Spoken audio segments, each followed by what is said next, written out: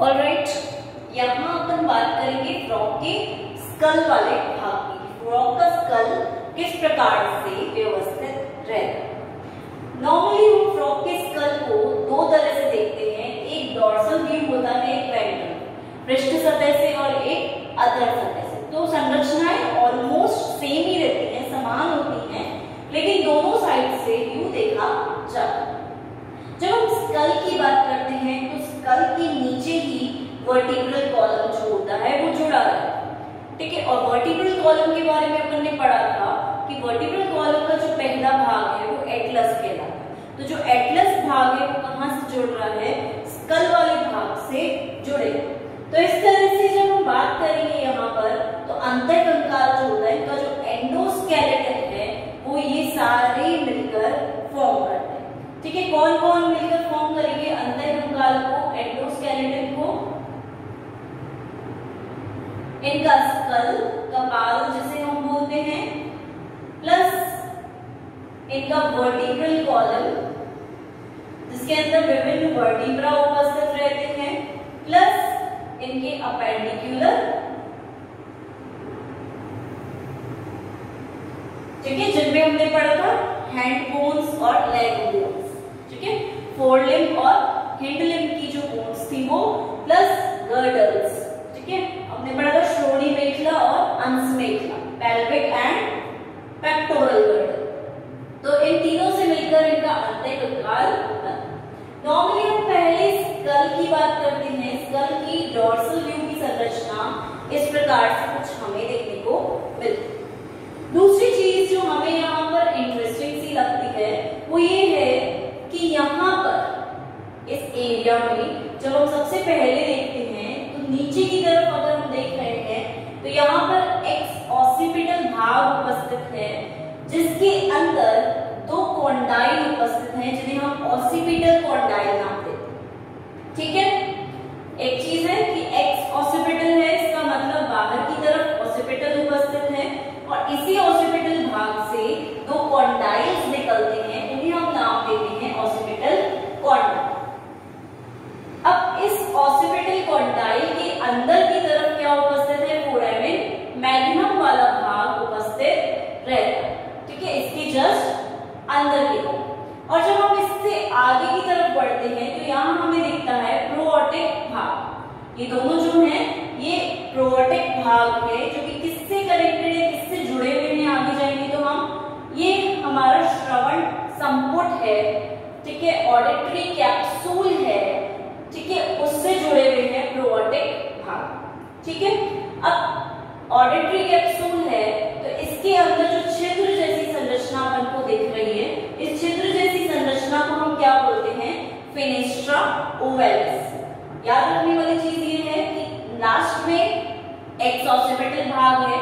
X occipital भाग से दो कॉन्डाइल निकल रहे हैं, जिन्हें हम ऑसिपिटल कॉन्डाइल बोल रहे हैं, और इन कॉन्डाइल के अंदर फोरामिन मैग्नम भाग उपस्थित है। ठीक है? तो प्रोटिक भाग है दो ठीक है, वो उपस्थित है और जब हम इससे और आगे जाएँगे तो क्या है यहाँ पर ऑडिटरी कैप्सूल उपस्थित है। जो श्रवण संपुट होता है इनका वो यहाँ पर उपस्थित है। और इसके अंदर जो संरचना है, उसको हम नाम देते हैं फेनेस्ट्रा ओवेलिस नाम की संरचना यहाँ पर स्थित रहती है। अब इसी के पास में स्टेपीडियल नाम की संरचना भी उपस्थित रहती है। ठीक है? वो हमने डायग्रामेटिकली शो नहीं की है, पर ये एक प्रकार की प्लेट रूपी संरचना है जो कि यहाँ पर व्यवस्थित रहती है। और इसको हम नाम कहते हैं स्टेपीडियल प्लेट ठीक है? यहाँ तक हमारी चीज़ें सारी क्लियर है कि ये वाला भाग जो है, ये इस तरह से यहाँ पर अरेंज रहता है। दूसरी बात, जब हम बात करते हैं, ऊपर की तरफ़ चलते हैं तो ऊपर की तरफ़ चलते हुए हमें दिखता है कौन सा भाग फ्रंटोपेराइटल भाग देखने को मिलता है और इस भाग को हम कहते हैं फ्रंटोपेराइटल ठीक है फ्रंट में है एकदम फ्रंट वाले रीजन में इसलिए फ्रंटोपेराइटल भाग. इसके जस्ट ऊपर की तरफ़ अगर देखेंगे तो हमें कौन सा भाग देखने को मिलता है? स्पिनेथमॉइड जो कि क्या कर रहा है? कुछ छोटी सी संरचना है और यहाँ पर प्री मस्तिष्क जो होता है फोर ब्रेन जो होता है, पूर्व मस्तिष्क भाग जो होता है, वो यहीं पर उपस्थित है। तो हम बोल सकते हैं फोर ब्रेन का भाग जो है और इसके अलावा जो गंध थैले होते हैं, जिन्हें हम ऑलफैक्ट्री बोलते हैं, वो भी यहीं पर ही उपस्थित रहते हैं। ठीक है? जिनके कारण स्मेल ले सकते तो कहा उपस्थित है ये भाग? स्पिनेथोइड भाग के अंदर प्री मस्तिष्क भाग, पूर्व मस्तिष्क भाग या फोर ब्रेन भाग उपस्थित रहता ठीक है, अब इसी भाग के यहाँ पर हम देखेंगे तो ये क्या है यहाँ पर? आई ऑर्बिट उपस्थित है। ठीक है आई ऑर्बिट की संरचना यहाँ हमें देखने को मिलेगी। अब इस आई ऑर्बिट वाले भाग से अगर हम ऊपर की तरफ़ देखते हैं, किस सरफेस में अधर सतह ठीक है, ये जो डॉर्सल व्यू है। अगर हम इसी आई ऑर्बिट के ऊपर की तरफ़ देखेंगे ठीक है सपोज़ ये आई ऑर्बिट भाग है तो इसके ऊपर यहाँ पर। कुछ इस तरह की संरचना देखने को हमें मिलेगी और इस संरचना को हम नाम देते हैं। पेलेटाइन स्ट्रक्चर और यहाँ पे जहाँ से ये अटैच होता है, इसको हम नाम देते हैं पेलेटाइन प्रोसेस या तो उपस्थित कहाँ है? आई ऑर्बिट के भाग में ही उपस्थित है। ठीक है? इसके ऊपर उपस्थित है सिर्फ़ पेलेटाइन संरचना ये कहलाती है। दूसरी चीज़ जो हमें देखने को मिलती है, हमने इस भाग को चार भाग में डिवाइड किया है। सबसे पहले हमने बात की नीचे वाले भाग की, ठीक है? दूसरी बार हमने भाग, बात की इस वाले भाग की। फ्रंटोपेराइटल ये पूरा जो बीच का भाग है यहाँ की तीसरी हमने बात की आई ऑर्बिट की भाग की। अब चौथी जो हम बात करेंगे, वो हम बात करेंगे अपर जॉ ये क्या है? एक प्रकार से अपर जॉ का पोर्शन ऊपरी जबड़ा वाला जो पोर्शन होता है, वो वाला पोर्शन ये उपस्थित अब इसको अगर हम बोलेंगे तो इसकी संरचना दोनों जगह पर सेम है और ये वाला भाग दो भागों में विभक्त रहता है डिवाइडेड रहता है। ठीक है? इस भाग को हम नाम देते हैं प्री मैक्सिला ठीक है? पूर्व मैक्सिला प्री मैक्सिला जो है, यहाँ पर अटैच किससे है नीचे की तरफ़ अगर हम यहाँ बात करते हैं तो किससे अटैच है ऑल्फैक्टरी कैप्सूल्स ठीक है आगे की तरफ़ अगर हम चलेंगे तो यहाँ पर हम देख रहे हैं नेसल भाग भी उपस्थित है बीच में ट्राइंगुलर रीजन जो है ठीक है त्रिभुजाकार जो संरचना यहाँ हमें देखने को मिल रही है ये नेसल भाग है ठीक है इस नेसल भाग के आसपास हम देखते हैं कि क्या उपस्थित रहेगा।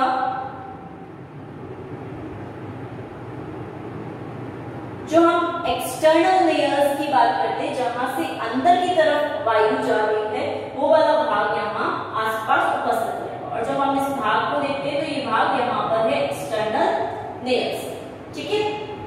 राइट अब हम मैक्सिला की बात कर रहे हैं तो मैक्सिला जो है प्री मैक्सिला ऊपर की तरफ़ उपस्थित है और इसी से नीचे की तरफ़ जा रहा है मैक्सिला था। ये जो दोनों है, ये मैक्सिला था। देखो, हमने मार्क कर रखा है, ये मैक्सिला। प्री मैक्सिला से मैक्सिला आगे की तरफ़ कनेक्टेड है। एक्सटर्नल लेयर्स भाग भी यहाँ पर कनेक्टेड है अब हम बात करते हैं यहाँ पर जब हम धीरे धीरे नीचे की तरफ़ आते हैं तो हमें क्या देखने को मिलता है यहाँ पर क्वाड्रोज्यूबल भाग राइट क्वाड्रोज्यूबल भाग देखने को मिलता है और लास्ट में हमें दिखता है क्वाड्रेट कार्टिलेज ठीक है?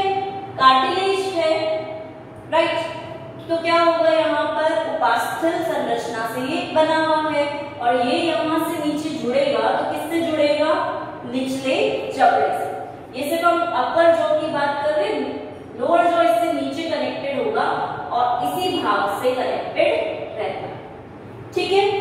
दूसरी बात जो हम करते हैं कि यहाँ पर थ्री अर्लियर थ्री डायरेक्शंस में यहाँ हम बोल सकते हैं ट्राई रेडियल संरचना भी उपस्थित है, जिसे हम टेरिगोइड नाम देते हैं। ट्राई रेडियल संरचना है, इसलिए हम इसको नाम क्या दे रहे हैं?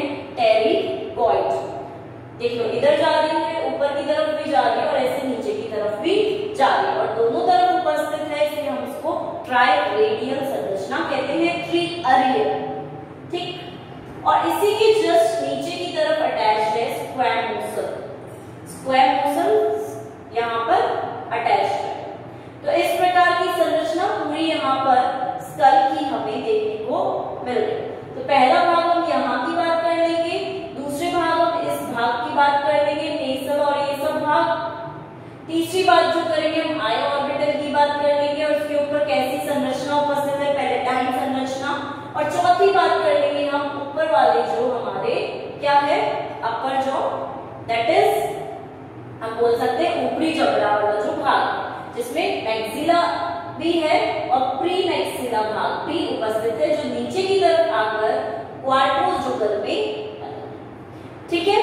तो इस तरह की संरचना हमें आसानी से देखने को मिल जाती है। एक और चीज़ जो हमें यहाँ देखने को मिलती है, वो है सेप्टोमैक्सिलरी भाग। यहाँ देखेंगे हम तो सेप्टोमैक्सिलरी भाग भी यहाँ देखने को मिलता है। तो अगर हम इसे पार्ट्स में याद करते हैं तो हमें चीज़ें आसानी से याद रह जाती है। ठीक है तो ये तो हमने बात की अपर जॉ की, ऊपर वाला जॉ अब हम बात करेंगे लोअर जॉ की। इसके नीचे भी तो एक जबड़ा उपस्थित रहेगा, जो हमने बोला क्वार्टो जुगल भाग के नीचे, जो कार्टिलेज उपस्थित है उपास्थल संरचना है, वहाँ पर की उपस्थिति देखी जाए। अब हम बात करेंगे इसके नीचे लोअर जॉ ठीक है, निचले जबड़े जब हम इसकी संरचना देखते हैं तो हमें कुछ इस प्रकार की संरचना देखने को मिल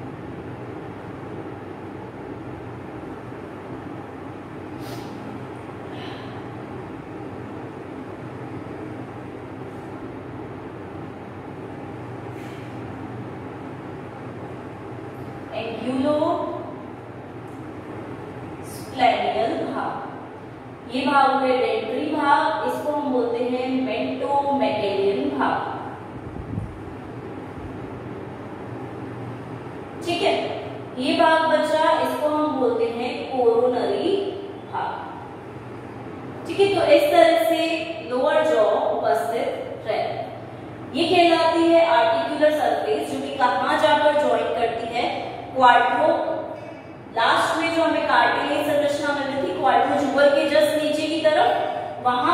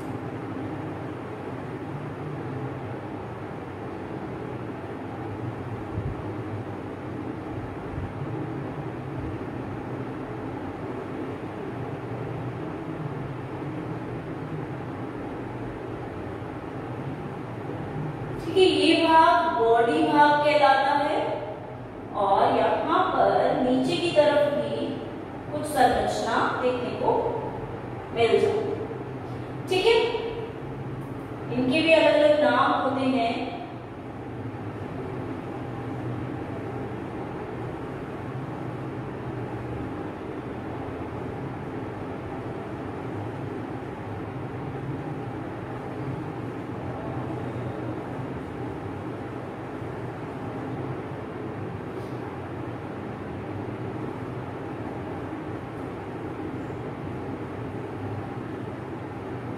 ठीक है तो इस प्रकार का हाइड्रोइड उपकरण यहाँ देखने को मिलेगा ठीक है और ये हमने बोला था कि ये खुलेगा आगे जाकर गलेट में खुलेगा ठीक है फेरिक्स के पास ही ये संरचना उपस्थित रहती है जो होती है रसनी के पास में ही ये संरचना उपस्थित है। ठीक है? अब हम बोलेंगे यहाँ पर बॉडी भाग में दो प्रकार के प्रोसेस या प्रवर्ट निकले रहते ठीक है? आगे की तरफ़ जो प्रोसेस छोटे से प्रोसेस है, उन्हें हम नाम देते हैं एलर प्रोसेस या प्रवर्ट एलर प्रवर्ट नीचे की तरफ़ जो प्रोसेस प्रवर्ट निकले रहते हैं, उन्हें हम नाम देते हैं पोस्टीरियोलेटरल प्रोसेस यानी कि पश्च पार्श्वतः प्रवर्ट ठीक है? पोस्टीरियर पोजीशन में है, पीछे की तरफ़ है और लेटरल, दोनों साइड की तरफ़ लेटरल पोजीशन पर है, इसलिए इसे नाम इस तरह से दिया गया। दूसरी चीज़ कि यहाँ से कॉर्नुआ का भाग भी निकलता है। ठीक है तो कॉर्नुआ भाग काफ़ी लंबी संरचना में निकलता है आगे की तरफ़ से। तो इसको हम बोलते हैं एंटीरियर कॉर्नुआ और पीछे की तरफ़ इसकी संरचना छोटी होती है तो इसको हम नाम दे देते हैं पोस्टीरियर कॉर्नुआ तो हाइड्रोइड अपैरेटस जो है, वो इस तरह की संरचना दिखाता है। राइट एलर प्रोसेस है पोस्टीरियर लेटरल प्रोसेस है बॉडी है और कॉर्नुआ दोनों तरफ़ से बाहर की तरफ़ ट्यूब जैसी नलिका रूपी संरचना को बना। तो ठीक है स्कल में हमने बात की किस भाग की, ब्रेन भाग की। ठीक है, इसी के साथ हमने यहाँ पर लोअर जॉ निचला जबड़ा और अपर जबड़ा जॉज पढ़े और इसी के साथ यहाँ पे हमने हाइड्रोइड अपरेटस भी देखे ठीक है और अपैरेटस हमने बोला कहाँ उपस्थित रहता है, यही कहीं गलेट और फेरिंग्स भाग जो होता है, उसके आसपास इसकी उपस्थिति देखी जाती है। तो हाइड्रोइड अपैरेटस देखा हमने, इसके बाद हम देखेंगे फ्रॉग का ब्रेन किस प्रकार से स्कल के द्वारा कवर्ड रहेगा पहली बात तो राइट और अंदर की तरफ़ उपस्थित रहेगा। तो यहाँ हम बात करते हैं फ्रॉग के ब्रेन भाग की ब्रेन किस तरह से यहाँ पर उपस्थित है राइट संरचना बनाते हैं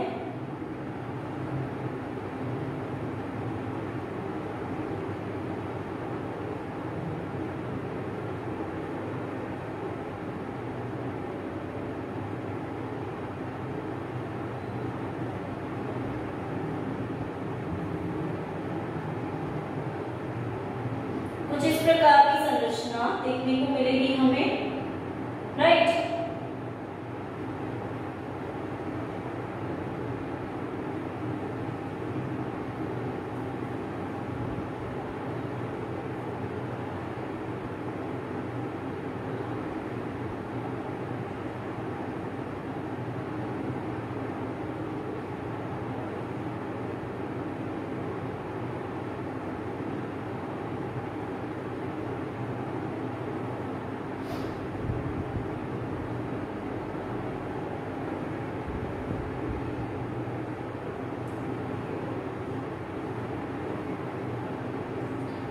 ये कहलाती है हमारी ऑप्टिक नर्व ठीक है ये कहलाती है ऑप्टिक लो ये कहलाता है भाग फिशर भाग ठीक इस भाग को हम कहते हैं सेरिब्रल भाग सेरिब्रल पार्ट इसको हम बोलते हैं कॉर्पस स्ट्रेटम भाग ठीक है इस संरचना को कॉर्पस स्ट्रेटम संरचना ये हम बात करेंगे तो ये है सॉरी ये है ऑल्फेक्ट्री नर्व है। और ये भी ऑल्फेक्ट्री लोब ठीक है ऑप्टिक नर्व यहाँ आती है और इसे हम कियास्मेटा भी बोलते हैं। ऑप्टिक कियास्मेटा राइट नीचे की तरफ़ ये संरचना फूली हुई संरचना है और नीचे इसकी यहाँ पर इस प्रकार से संरचनाएँ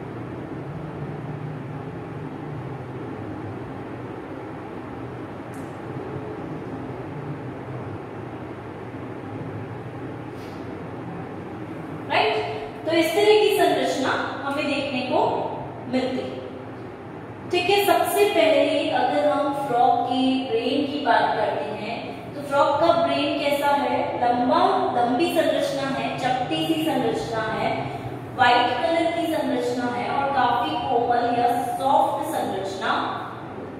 इसके अंदर दो प्रकार के हम बोल सकते हैं, एक तरह से लेयर्स उपस्थित रहती हैं। ठीक है मैनिंगिस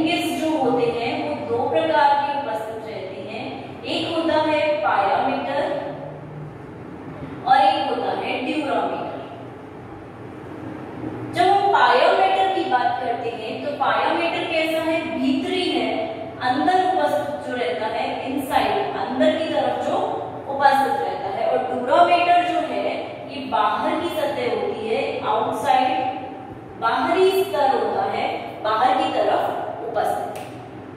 ठीक है? अंदर की तरफ़, बाहर अब क्योंकि ये अंदर है तो ये काफ़ी कोमल सॉफ्ट संरचना होती है, जहाँ पर हम बोल सकते हैं काफ़ी संवहनी है। मतलब यहाँ पर ब्लड वेस्क्यूलर सिस्टम जो है, संवहनी हो रहे तो रक्त का सिस्टम जो है वो यहाँ पर उपस्थित रहेगा। वहीं अगर हम बोलेंगे बाहर की संरचना है तो काफ़ी कठोर होगी क्योंकि उसे प्रोटेक्ट करना है। उसका काम क्या है? सुरक्षा प्रदान करना। प्रोटेक्शन का कार्य है। तो इसलिए ये बाहर है तो काफ़ी कठोर संरचना। अब लेयर्स स्पेस खाली जगह भी उपस्थित रहती है तो उनके अंदर क्या भरा रहता है? सेरिब्रल फ्लूइड ठीक है? या सेरिब्रल द्रव्य उनके अंदर भरा रहता है। तो इस प्रकार ब्रेन की संरचना हम देखते हैं बाहर से जब हम अंदर की बात करते हैं, ब्रेन तीन भाग में विभक्त रहे ठीक है? ब्रेन को हम अगर अंदर से देखेंगे तो ये तीन पार्ट्स में डिवाइड होता है। पहला भाग जो होगा, वो कहलाएगा फोर ब्रेन या प्रमस्तिष्क। फोर ब्रेन भाग, जो सबसे ऊपर की तरफ़ उपस्थित है, ऊपर की तरफ़ इसकी संरचना देखी जाती जब हम फोर ब्रेन की बात करेंगे तो इसे ही हम तीन भाग में डिवाइड करते हैं। राइट जैसे, अगर हम बात करते हैं सबसे पहले फोर ब्रेन की तो ये सबसे पहला भाग जो होता है वो कहलाता है राइनोसेफेलॉन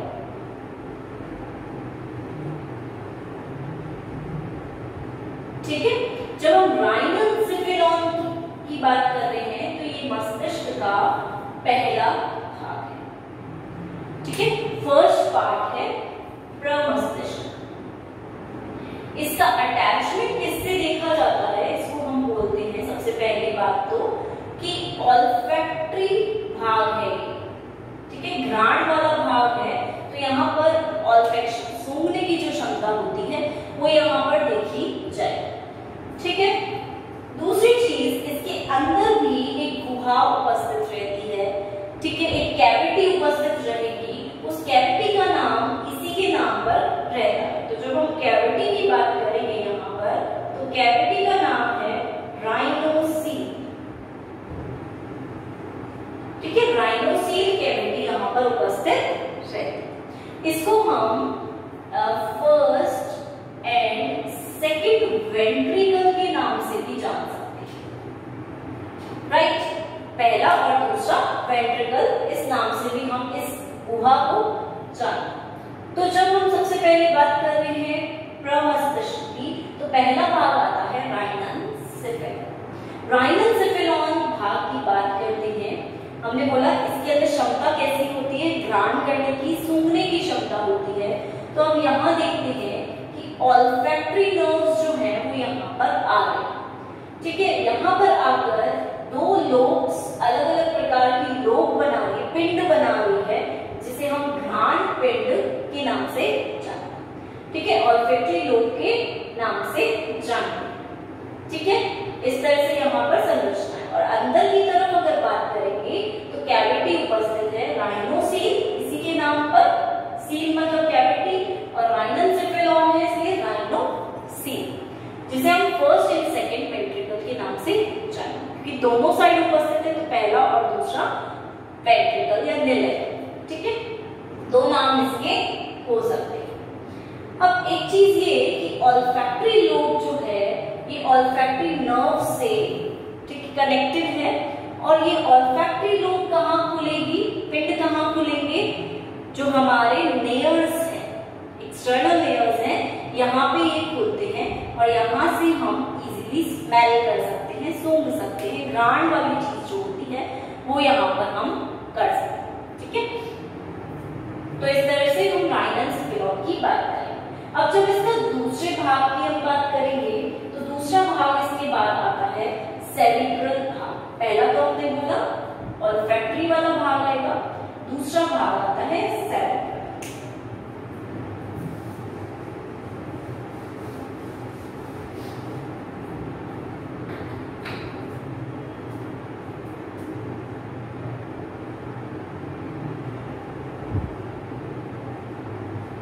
नाम क्या दे रहे हैं हम इसे सेरिब्रल भाग राइट तो सेरिब्रल भाग में हम देखते हैं कि ये सेरिब्रल भाग सेरिब्रम हेमिस्फीयर्स में डिवाइड और ये हेमिस्फीयर्स में डिवीज़न कौन करता है बीच में एक फिशर उपस्थित होता है वो ही इसमें डिवीज़न का कार्य करता है को डिवाइड करता है और इन्हीं के कारण हम बोल सकते हैं कि ये दो भाग में डिवाइड हो रहा है आगे जाकर ठीक है अब फिशर की हमने बात की तो हम यहाँ पर ये भी बोलते हैं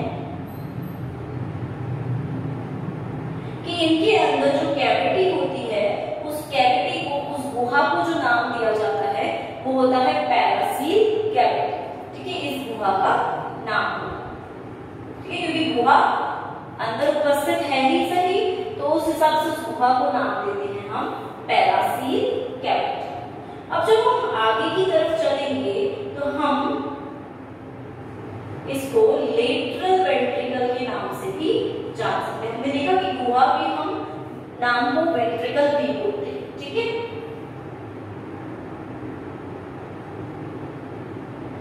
आगे की तरफ़ अगर बढ़ेंगे तो हम देखेंगे इंटरनल वेंट्रिकल या वेंट्रिकुलर फोरामेन जैसी संरचना देखने को हमें आगे की तरफ़ मिले। और जब हम इस भाग की बात करते हैं तो यहाँ पर हम देखते हैं कि वाइट श्वेत कलर की मेड्यूलेटरी या मेड्यूलेटेड नर्व्स तंत्रिकाएँ यहाँ हमें देखने को मिलती हैं और इस भाग को हम नाम दे देते हैं कॉर्पस स्ट्रेटम ठीक है और इस भाग की कनेक्टिविटी की जब बात करते हैं तो वो आगे की तरफ़ कनेक्टेड रहती है एंटीरियर कमीशन के द्वारा अब देख लेते हैं डायग्राम में इसकी चीज़ यहाँ पे हमने बोला आगे की तरफ़ सेरिब्रल हेमिस्फीयर ये देखो दो भाग में सेरिब्रम जो है वो डिवाइड हो गया है और सेरेब्रल हेमिस्फीयर बना। हेमिस्फीयर की बात कर रहे हैं तो हेमिस्फीयर का डिवीज़न कैसे दिख रहा है? बीच में एक दरार रूपी संरचना है, उसके बेसिस पर, उस फिशर के बेसिस पर ही ये दो डिवाइडेड हमें डिवीज़न दिख रहा है। इस दरार के आधार पर हम बोल सकते हैं दो सेरेब्रल अब सेरेब्रल हेमिस्फीयर जो है, ऊपर से तो सपड़े हैं और नीचे से जाते जाते चौड़े हो जाते हैं, ठीक है? प्रकार की संरचना रहती है। अंदर से कैसे होते हैं, ये बिल्कुल सॉफ्ट कोमल होते हैं और यहाँ पर चिकनी त्वचा होती है, बिल्कुल स्मूथ त्वचा देखने को मिलेगी। ठीक है? अंदर की तरफ़ फिशर की बात नहीं कर रहे हम? इस हेमिस्फीयर की बात कर रहे हैं। ठीक है? अब जब नीचे की तरफ़ हम आते हैं, पहले तो हम इसकी कैविटी की बात करेंगे, अंदर गुहा जो है वो पैरासील के बाद कहलाती है। और उसको हम लेटरल वेंट्रिकल के नाम से भी जानते हैं। ठीक है? अब नीचे की तरफ़ अगर आते हैं तो कौन सी संरचना आती है? इंटरनल वेंट्रिकुलर फोरामेन मतलब ये क्या है? एक प्रकार की छिद्रनुमी संरचना है, जो कि इंटरनल वेंट्रिकुलर फोरामन कहलाती है। नीचे, यहाँ पर इस संरचना में क्या उपस्थित रहते हैं? नीचे की तरफ़ व्हाइट श्वेत रंग की मेड्यूलेटेड तंत्रिकाएँ उपस्थित रहती है। ठीक है मेड्यूलरी मतलब कि वहाँ पर उनके आसपास क्या उपस्थित है? मेड्यूलर की लेयर उपस्थित है। ठीक है? तो मेड्यूलेटेड नर्व्स होंगी, तंत्रिकाएँ होंगी और इसी के साथ यहाँ पर कुछ बीच बीच में ब्राउन कलर की संरचनाएँ भी होंगी, भूरे रंग की संरचनाएँ भी उपस्थित रहेंगी। फिर इसी भाग को हम नाम देते हैं कॉर्पस स्ट्रेटम देखिए हमने कॉर्पस स्ट्रेटम की संरचना यहाँ पर उपस्थित रहेगी और इसका नीचे की तरफ़ जब जुड़ाव होता है तो किससे होता है एंटीरियर कमिश्नर से इसका जुड़ाव होता है। अग्र हम बोल सकते समायोजनी जो होती है, उससे आगे जाकर जुड़े। तो याद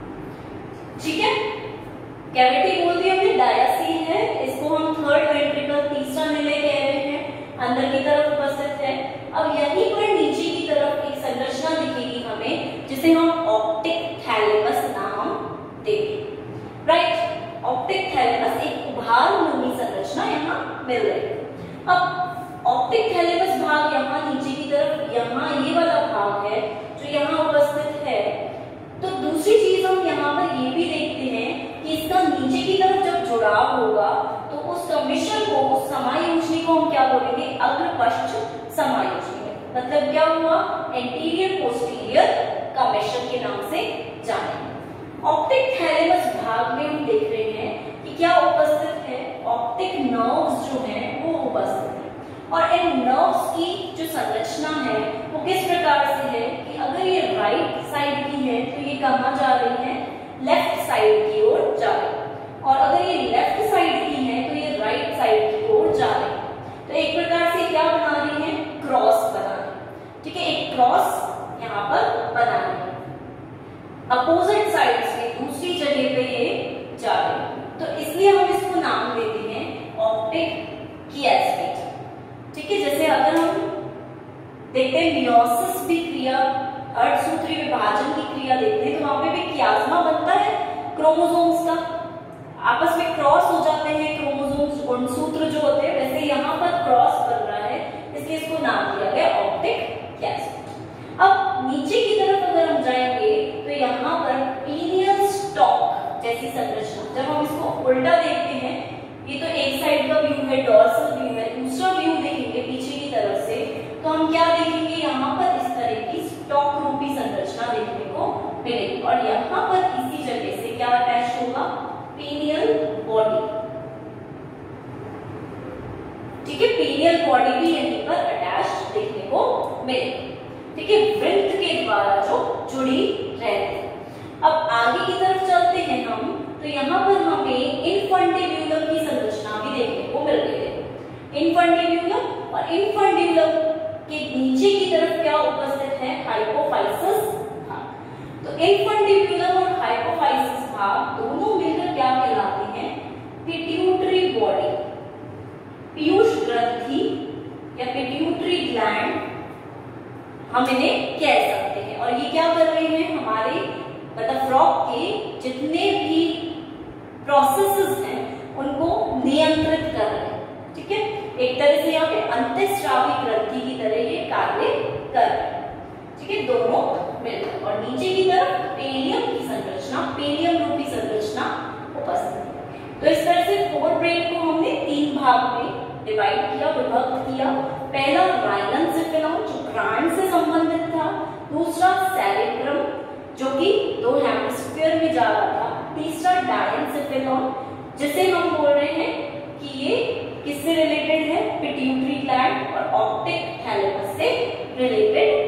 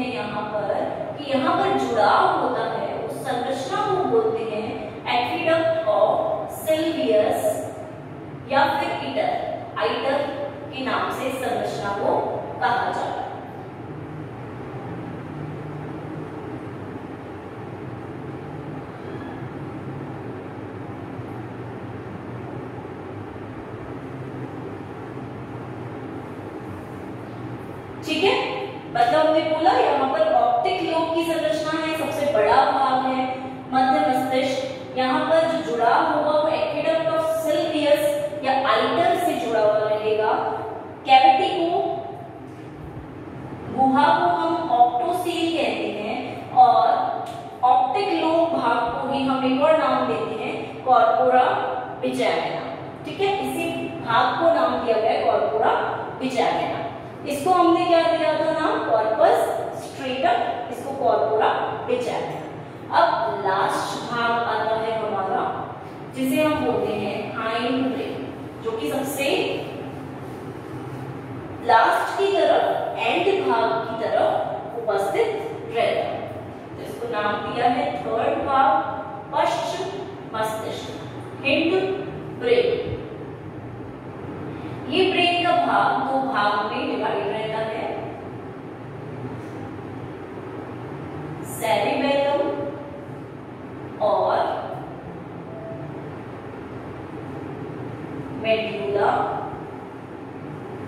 ऑब्लोंगेटा ठीक है, इन दो भागों में इसे विभक्त कर सकते जब हम सेरी बेलम की बात करते हैं तो सेरिबेलम भाग जो वो यहाँ पर हमें देखने को मिलता है राइट जब हम उल्टा करके देखेंगे तो यहाँ कुछ संरचना हमें दिखेगी। तो इस भाग को हम सेरिबेलम भाग कहते हैं। छोटी सी संरचना है, ज़्यादा बड़ी संरचना नहीं है, और इसके अंदर भी एक गुहा उपस्थित रहेगी। उसके जस्ट नीचे की तरफ़ वाला जो भाग होगा, उसे हम मेड्यूला ऑब्लिंगेटा भाग कहेंगे। अब जब हम सेरिबेलम की बात कर रहे हैं तो सेरिबेलम में हमें क्या देखने को मिलेगा कि ये संरचना जो होती है। ये बैलेंस बनाती, संतुलन बनाती है पूरी बॉडी का, ठीक है?